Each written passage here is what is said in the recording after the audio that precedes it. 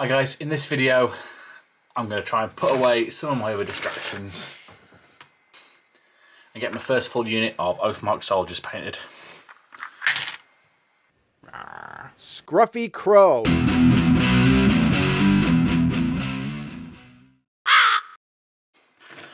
So these guys have been on the schedule for ages and I just keep putting them off because uh, it's quite a daunting task painting a full unit like this. I've not actually painted a proper unit since I finished my dwarf army. Uh, but no, I can't put it off any longer. We're going to do these guys. So I've decided I'm going to go with a green and yellow colour scheme uh, to make them different from any other army I've done and try and stay with that sort of nature vibe. I'm going to use this uh, Foundry Forest Green and yellows, sort of lighter pastel yellow that this comes out as, um, as the as the basis for the colour scheme. Now annoyingly for soldiers, so, unlike, so kind of unlike my dwarves, there's a few different sort of layouts of outfit here. Um, which is a little bit frustrating if I'm honest. I think I'm just going to go ahead and try and do all 20 at once. Um, 20 is actually not a big batch paint, I've done worse. So I shouldn't have too much trouble. I've more or less instantly changed my mind about uh, doing the skin tones using the foundry paints. The first colour is very similar, that's the Idrinn Flesh that I normally use. That's the foundry version. Uh, but the Idrinn Flesh covers so much nicer. Uh, so I'm going to stick with that for now. Okay, so the flesh tones are basically complete on these guys. Uh, there obviously wasn't much to do, just the faces and the hands, remembering the hand behind the shield. Uh, and I'm pretty happy the way they've come out. Uh, next stage is going to be the colours, the main colours. So we're using uh, this green, which is a Nocturne green, uh, which I'm going to start using along with the forest green as well. I'm going to use the forest green system from uh, Foundry uh, to get the final green on these parts. And then on the yellow parts, this is going to be Averland Sunset. And once again, I'll be using the Foundry uh, yellows uh, because they give a nice sort of lemony, soft yellow uh, that I quite like rather than having a, a vivid like acid yellow like that. Uh, they're a lot sort of more soft on the eyes, which I think is going to work quite nicely. Uh, I did want to use the Foundry paints, sort of the full set ABC, uh, as you know, for the base, but I found that these Games Workshop paints cover so much better. Um, I mean, that yellow is just one thin coat uh, straight over the sort of black. So, yeah, I'll stick with these to get the bases down, and then I'll move on to the Foundries to build up the colours. Uh, these colours are obviously going to account for the bulk of these models any fabric that I don't do green or yellow, I'm just going to do in this uh, Greatcoat Grey, which I find fades into the background. So it'll be a nice colour for the fabric, um, but it won't be something that'll stick out at you. Uh, and I'll use that for things like around their necks. Uh, this guy's got a little bit of fabric in here, his trousers. I'll get all of that with the grey, just make it look like sort of grey wool, I guess. Ignore my fingers, by the way, I've just been spraying some halflings. Um, so yeah, so I'm going to get all those different bits of fabric uh, blocked out uh, and I'll start highlighting them up and then we'll really get to see what this unit's going to look like. Okay, so it's taking me two days just to get the green and the yellow one. Uh, partly just because it's taken a long time and partly because I keep getting distracted by other figures uh, and bits and pieces but I think you know they now they've got the yellow and green. I really I'm getting a, a sense of what they're going to look like as a unit, and I'm really keen uh, to get these finished. Potentially, I shouldn't have done 20 at a time. I think I'll learn from this next time I do a unit of the soldiers, uh, and I'll do, do like 10 at a time maybe. Um, I think before I go any further, I'm going to now take the yellow and the green as it is, and I'm going to highlight both up Okay, so it was a fair chore, but the green and the yellow are their final colours now. Uh, the contrast's not as good as I'd like. Uh, as you can see, it's not really showing up on the camera. It does look better in person. Um, but I don't know if I'll do anything to fix that. Um, but yeah, pretty happy with the colour scheme, pretty happy with the green and the way that's come out anyway. Uh, so next up I'm going to be doing the leather. So this is going to be their braces um, and then a number of them have these sort of leather tunics that I'm going to do uh, studded leather uh, and then the boots. Basically I'm just going to do that all the same colour. The leather is going to be Rhinox hide, I think probably just highlighted with some bootstrap leather. So since last time we looked at them, I've re-highlighted the yellow. I took them all the way up to this yellow sea, which is a sort of nice light colour. That's kind of knocked off some of the acid yellowy tones. Uh, and I think I prefer the, the contrast between those two. I've also gone and put all the grey in, and I've made sure any leather parts, the boots, the belts, the pouches are the right kind of brown. This guy represents the next step. So we need metal rims on the shields, helmets, swords. Okay, so I've got a couple more colours ahead on this guy. Uh, so this is bootstrap leather on the uh, of leather and there. So now all we're looking for on this one is, oh actually we need to do the braces. All we're looking for on this one is the brass and we've got all the base colours at least sorted. So this is the first time I'm really gonna, I've got an idea of what they're gonna look like. Uh, and I'm pretty happy with it. Still a lot of work to go though. Okay, I'm currently putting the metal on these guys. Uh, so I'm getting them from sort of... Okay, so I'm currently putting the metal on these guys. So I'm getting them from here to here. Uh, the swords and helmets and shields are pretty straightforward. And I think it's really making the shields work. Um, the bit that's taking a little bit of time though is all these studs. I found the trick to it is to get a little bit more paint on the end of my brush than I normally would. Like a little blob. And then just use that little blob carefully just to sort of dab each of these tops. And doing it that way it means I can get through quite a few of these uh, quite quickly. And it doesn't matter if the paint's blobbed on a little bit raised because that just gives more of the effect of the stud. Um, so yeah, it's actually pretty straightforward to do it this way. This one's not too bad, but some of them have got these all the way across the back. So it is taking me that little bit of extra time.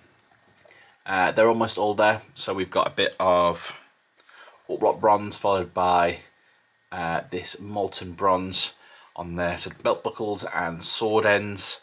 So we've done all the studs like we said and we've got uh, their cloaks in grey I think the colour scheme is working really nicely. Uh, we've been touching up all the leather um, so the only bits that are left are their is their hair uh, and obviously we want their hair to be slightly different. Uh, some of them are going to be getting some Rhinox hide. Uh, a couple of them will get some Averland Sunset. We'll get some Zandri Dust in there. A couple might, I might even go for a black. And a few of them will be this Mournfang Brown. So hopefully that'll give me a nice variety of hair colours. And they'll all just be getting uh, washes basically. Uh, probably all just a bit of Nuln Oil. Um, apart from the black, which will get a highlight maybe. Actually, I probably won't use the black. So yeah, so I'll probably stick to these and then they'll just have a bit of a wash. And then I'll be getting all of the metal parts uh, so the swords and helmets mostly and the shield rims. Uh, that'll all get a Nuln Oil wash. I've also been looking at a few of the faces as well and I think they're looking all right. Uh, but I think one last sort of real fine highlight uh, with my flayed one flesh as well uh, so there's a few more hours work left in these yet um, but I'm pretty happy with the way they're looking this session that I'm doing now is the first time that I've really been you know, looking at them and being really happy with the way they've come out. At one point, I was a little bit worried I was going to dislike them and the scheme. Uh, but yeah, I think they're looking pretty cool. Okay, so the base tray is all done now. Uh, and I've just finished using some of this Quicksilver uh, just to just to give a quick fleck, uh, mostly to the tops of their helmets and then just the top sides of the shield bosses, uh, just to make everything look a little bit shinier on the edges of the swords. Uh, I think that's looking pretty good. These are basically done now. Uh, they went past tabletop level a few steps ago, uh, but I'm really happy with where they came out. I did some more little dabs on the faces of the uh, flayed flesh uh, just to bring them out a little bit. I've also gone around and painted all their eyes black. Now a lot of these have got quite squinty eyes, so you can't really see where their uh, eyes would be. Uh, but I've gone and yeah, filled in the spaces where that might be in black. Uh, and I'm going to go around and try and put pupils, little wipes in all of those. It is quite a lot of work to do on all of them, uh, but I really think it brings the models to life uh, and it's worthwhile. It's kind of hard to show you on a model how I do it, but basically I paint the eye area in black and then I, uh, what I need is a, a very fine brush um, and I take a dab of paint on the end and I put one dot there and one dot there and that gives him my eyes. It's particularly tricky on these models as they've got sort of underbags that are quite prominent and the eye slits are quite small. I said once again I think you could get away without doing this step. Uh, it's the only bit that's really taking a steady hand uh, and a fine paintbrush. But I think it's worthwhile. And I've only got 18 more to do now. Okay, we are done with the painting now. To celebrate this, we get to do some finishing touches. Now I bought these specifically for uh, this project. So we've got four and six mil rough grass tufts and then some green little bushy bits. I've also got some of this old uh, Luke's APS uh, foam um, I don't think it's even called that anymore. I think it's completely geek gaming now. And we've got some of this uh, 2mm uh, Javis 2mm summer uh, grass as well. I love these little uh, takeaway containers um, for all sorts of things like this. I think it works great. Um, but yeah, so we're going to use a combo of all of this and make some nice lush bases. Uh, I'm going to start with the taller grass tufts. And now these are self-adhesive ones, and I've said before that I don't trust the self-adhesive ones normally, but these ones are really gooey, and they really like, I've just placed that on there, and I could basically pick up this entire tray with it. So yeah, so far I do recommend these warpainter.net ones, they're on eBay. I'll see if I can put a link in the description. And my only criticism of them is they're all the same size, they're very uniform. I prefer it when you have different sizes. Don't know where these ones are from, for instance, but you've got sort of little ones and then wider ones. Basically, these little bushes work the same. Say little bushes, these are kind of huge.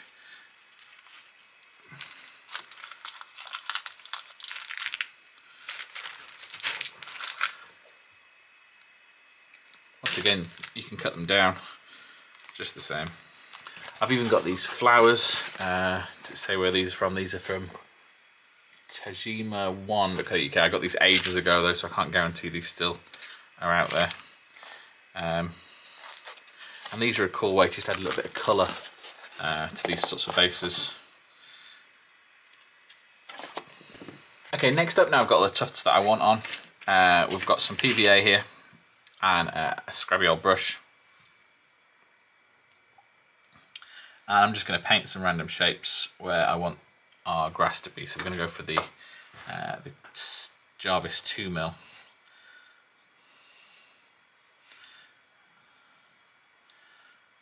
I actually want quite a lot of this covered because this is going to be the sort of main, you know, I want these guys to look like they're in some meadows. And this is the main kind of grass there. Something a bit like that. Now we need a little tray. This is actually the lid off my wet palette um, but it's nice and smooth and clean, uh, so it works quite well.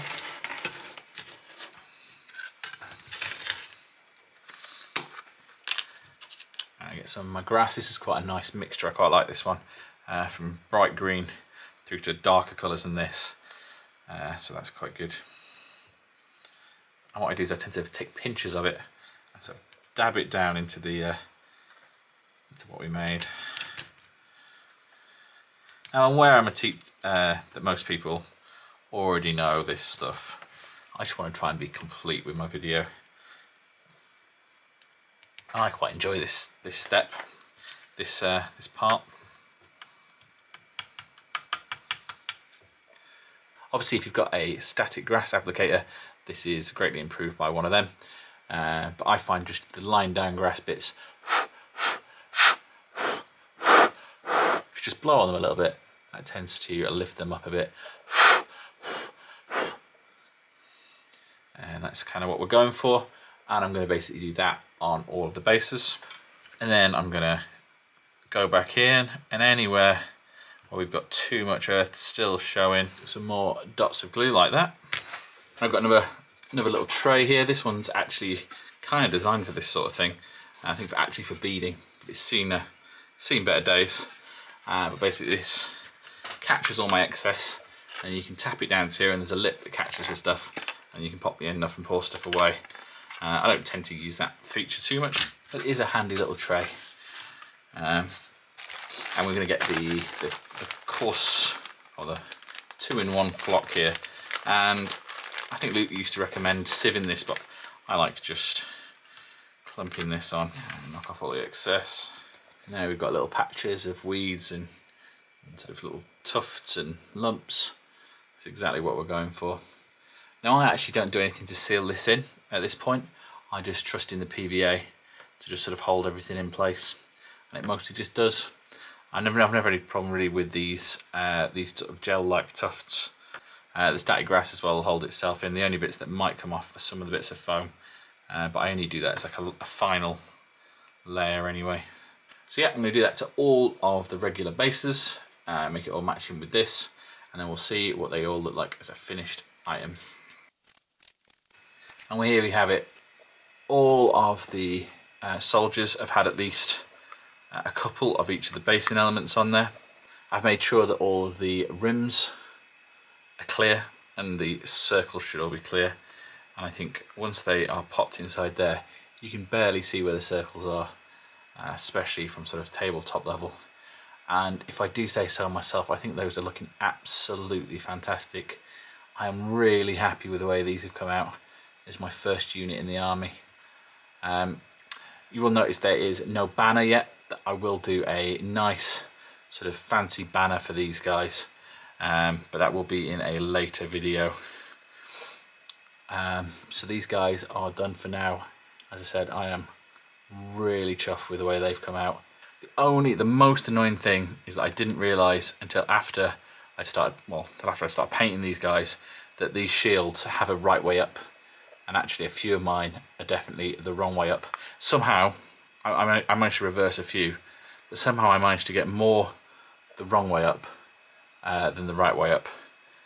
I don't know if you can tell, but yeah, it's slightly longer on the top on this one, which looks better the other way around. These have been a proper chore to get done, uh, but as I said, I think it's worthwhile. And I know I said earlier that maybe I won't try 20 again, but I've already started prepping the next unit, which is a almost full unit, 18 halfling archers. And that's all for this video. Please let me know what you thought down in the comments. Uh, maybe subscribe for more. And as ever, thanks for watching. Bye.